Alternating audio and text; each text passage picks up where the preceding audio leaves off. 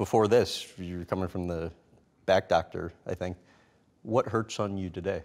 Well, I mean, it'd probably be an easier question.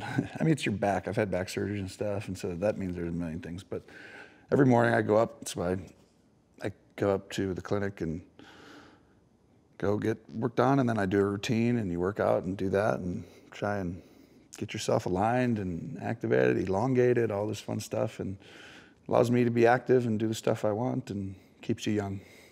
But uh, things are going to happen; they're going to happen, and you just fight like heck.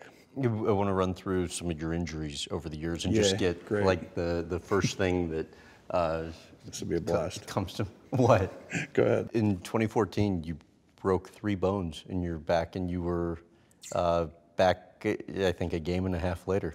Yeah, I sat out a game. Yeah. How do you manage to, you know, when you're in that kind of pain, still get back out on the field? It just means so much to you. I mean, you're competing. You just want to win, and you just want to help your team win. And you know, you're the quarterback. It means a lot. You being out there affects a lot of lives, and these games matter a lot. And like I said, everyone, everyone plays through a lot. You fractured clavicle in 2015, or, or a few times, right?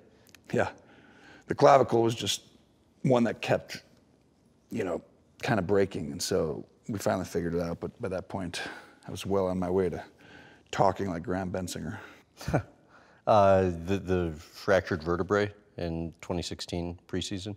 Nick was telling me at, at that point you finally got into a point where everything was slowing down. And to what extent do you feel like that when the game had started to slow down and when you had an idea of what was going to happen before it happened, that you were entering your best years, but that time kind of got compressed because the body wasn't holding up?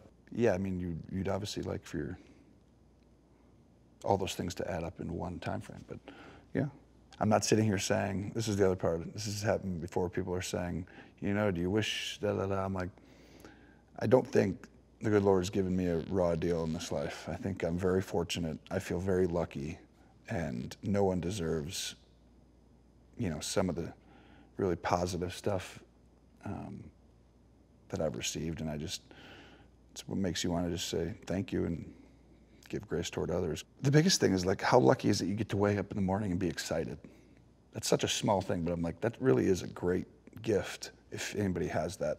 That you're actually excited to get up out of bed and go do something or try something. That's what throwing the football was like for me, like trying to figure out how to improve, how to figure out how to beat this team this week. These were really enjoyable things to wake up and do.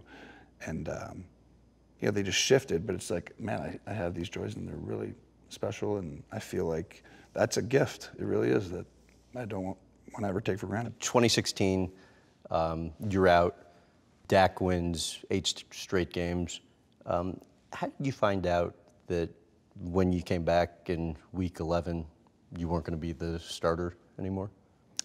Well, I think like anybody's winning. I mean, their team was playing so well. I mean, that's, I mean, it's kind of what will always happen. I mean, you just don't mess with that kind of success. And you know, it's football is not really about any individual, but yet we all want to be the best, and you all want to be, you know, one of the major reasons that you guys are winning and being great. But um, you know, as you become a dad and you kind of get older, you can also see there's multiple sides. I mean, there's it's just not about me. It's about so many more people, and uh, but I just feel like when your team's playing well and everyone's playing really good football, um, that's just that's just it's a team sport. It's not about an individual. I was that kid once. Stepping in, having to prove yourself. I remember the feeling like it was yesterday. It really is an incredible time in your life. And if I remember one thing from back then, it's it's the people that helped me along when I was young. And if I can be that to Dak, you know, I've tried to be, and I will be going forward. The, the speech that you gave, your parents said when they were watching it they were both crying. Uh, you used terms like soul crushing and a dark place.